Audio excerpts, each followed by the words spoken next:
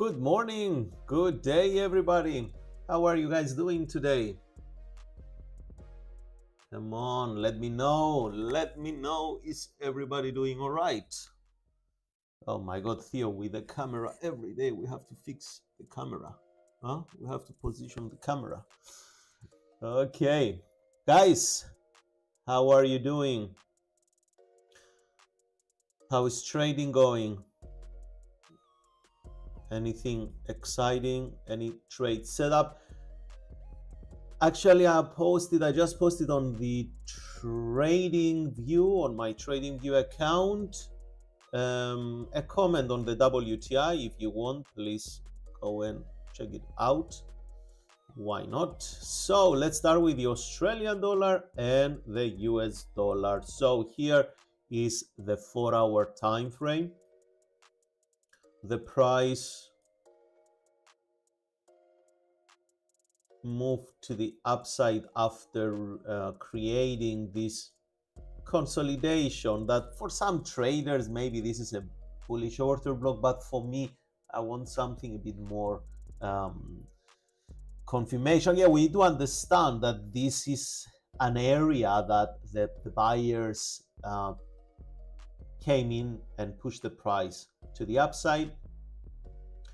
The inside support around this price level 0.66 double O hold it and the uh, and and the bounce occur but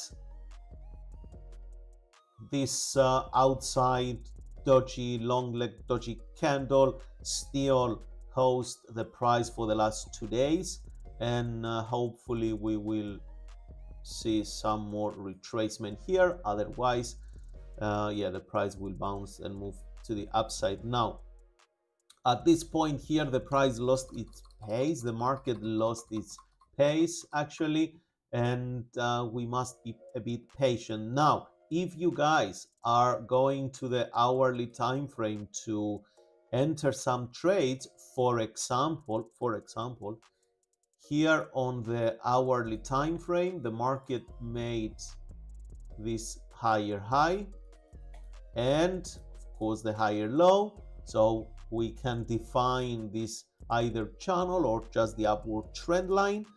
And afterwards a bearish Marubozu candle broke this one hour upward trend line. Therefore the market on this hourly time frame it looks more bearish than bullish. Now some traders who are trading uh, solely the the order blocks on the hourly time frame they might use this one as their reference order block to look for short positions be mindful that here also some activity occurred and this is the highest point. So if you're gonna wait for a kind of retracement to enter short and you want to place your stop loss it's easier to place either the stop loss above here or above there. Okay so this is the analysis for the US dollar. Guys uh, if you want to see analysis on any other on any particularly any other currency pair just let me know. So on the hourly time frame new zealand again it created this bearish candle here but it didn't break the low below this um, bullish um, how do we call this one now? That's the dragonfly dragonfly doji candle. It's fairly bullish uh, if the price will break this low here then we will confirm this as a bearish order block okay guys. I hope it makes sense. Next one on the euro. Uh, the euro here looks like more bearish. If by the end of this hourly candle it's gonna uh, stay as a bearish engulfing we might see the euro moving further down and retesting these areas of support or down here Great British Pound uh, found support at the Fibonacci withdrawal on the four hour time frame. You guys see that? we started from there to the low sorry the the low here that was the last impulsive move to the high up there fibonacci it's somewhere here the 61.8% and the 50% and the price found support and of course bounced upwards. We expected to see continuation to the upside but again we don't know what's going to happen if this is going to be a transition period. On the US dollar Canadian dollar the market found the support here. Up. It bounced to the upside. Now it's trading sideways. I'm not interested in this one here no biases USD Swissy. USD Swissy looks like it moves higher. Let's see if it's gonna make it to this inside resistance. Um, I'm still holding the long position here, yes, which it's uh, it's great.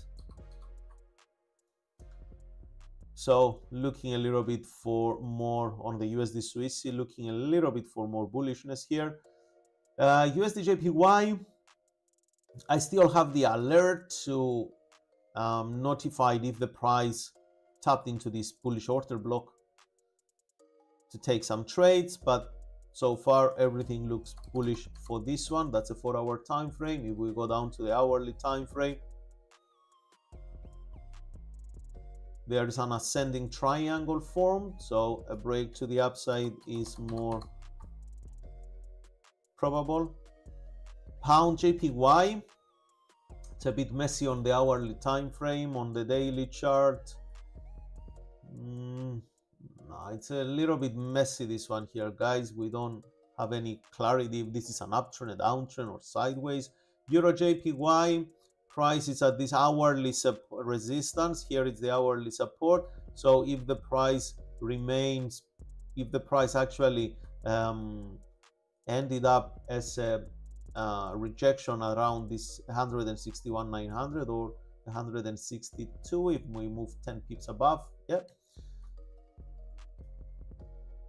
we might see the price to move lower okay so far from the euro australia from the euro us dollar and the pound us dollar we see that the euro is uh, weaker than the great british pound Next one, Aussie Japanese yen. It entered at this area of resistance on the daily chart. I marked this monthly resistance, and on the four-hour time frame, we we um, identify this bearish engulfing order block right here. I don't know if I can make it a bit thicker. If it will help better, is that better? Up.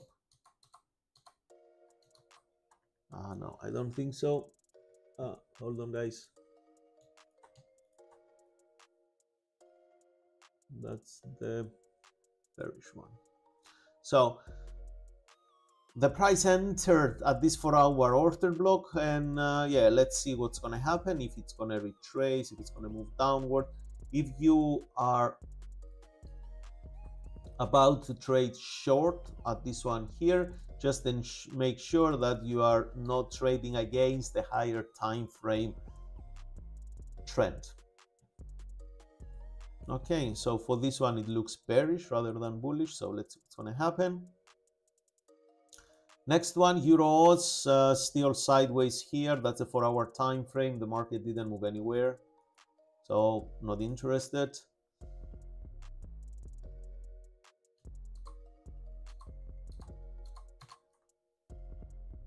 Euro CAD, oh my God, this one here, the weekly, the, the price it's currently at the weekly close. On the daily chart.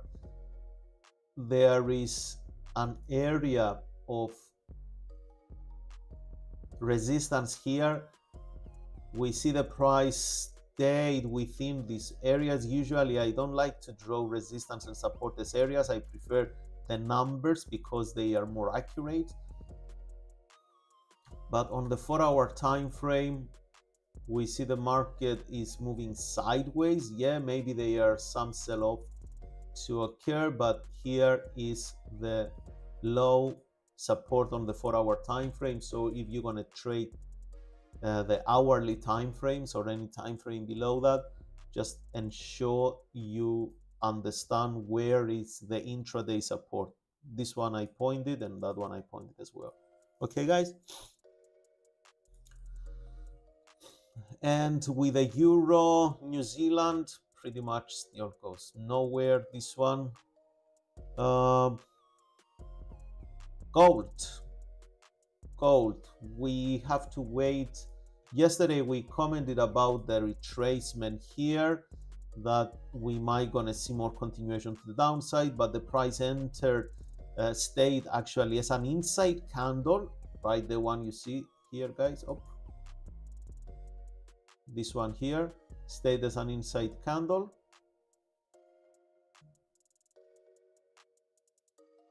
and uh, we have to wait and see what's going to happen us oil yesterday it was a bullish nice bullish uh, impulsive move to the upside. On the four hour time frame we spotted this uh, bullish engulfing and hammer at support. Also on the one hour chart it was a more well defined bullish engulfing that um, pushed the move to the upside last night uh, we i hosted a webinar for the trading pit prop firm guys and it was one of the very very informative webinars and uh, i encourage everybody to visit the trading pit uh, youtube channel and I believe today or tomorrow they're going to upload it. The team will upload it so you have the chance to read it. It's about the order blocks and I delve very into the order block setups and valid and not valid. Also here at the TradingView, if you don't follow me on the TradingView, please make sure you do at Market Minds Mastery. It's the same name because I post regularly some kind of informative, um, not necessarily setups, but like um, why that order block failed and I encourage you everyone to go and watch that one. So on the daily chart, this is uh, moving upward. So on the hourly time frame, we might want to look for some bullish opportunities here. Okay, so the um, the or the the order block that I identify here, it's right at the bottom. It's this one here let's see if the price comes into this area we're gonna might look for some bounce okay maybe it's gonna happen in the next few days and not necessarily today. Regarding bitcoin uh, bitcoin on the hourly time frame it made actually today it made a new all-time high at 73748 um yes there are divergences here. If you guys saw that bearish divergence um, among with the uh, you know, rising in the price, but this is not a reversal pattern that it's going to reverse the trend. First, it's going to change the phase of the trend and it's going to enter it into a corrective phase. If it's going to be reversed, it will be reversed. Okay. Um, Ethereum didn't make the new high. Actually, that's the hourly time frame. If you're trading the Ethereum, the price bounced from this order block yesterday and pushed to the upside. Solana, it's one of the uh, one of my favorites actually, and I invest in Solana rather than trading. Okay, and basically with the with the cryptos, I I'm more investor than it than uh, trading. I trade the currencies because of their uh, fluctuations and it's easier to to spot the moves on the currencies. Okay um, Ripple, it's another promising one. Impulsive move to the upside. Price hold around 67 cents. So maybe we're going to see some more bullishness. Okay, guys, that's all from me today. We covered all the majors. We covered the majors indices. Uh, actually, sorry, the indices. We didn't cover the indices. US uh, 100 or NASDAQ on the four hour. Price moves nowhere. So there, we don't see any market structure here on the US 500 um, price is approaching let's say this all-time resistance high let's see if it's going to move there and break above it Uh, and the German 40, a new high is about to be made today. Oh my God, this German 40, it just goes and goes and goes. On the daily chart, shallow retracements. Yesterday, another doji candle. Let's see if this doji candle at resistance it's gonna be as valuable to uh, traders. So if the price will decline from here, we might see it coming and retesting this area down there. Okay. And guys, don't forget to like and subscribe on the YouTube channel. And especially if you're new here and you're interested in uh, our services here at Market Mastery, we offer coaching for private traders and investors. Um, if you want, feel free to book a 15 minute introduction session with me. Here is a calendar. Or if you um, if you are if you are trading for a while and you need coaching, please feel free to book any one of the uh, of the packages here. We have just the six session and 10 sessions with um, I believe very fair prices for everyone and affordable. So if you need anything, please make sure you contact us from here. I will share also the Market Mind Mastery uh, page. So you contact us and we can uh, talk more about what you need there. Okay. So I would like to wish to everyone to have a fantastic day ahead, guys. Um, and I look forward to see you tomorrow at the same time. Thank you and bye, everyone.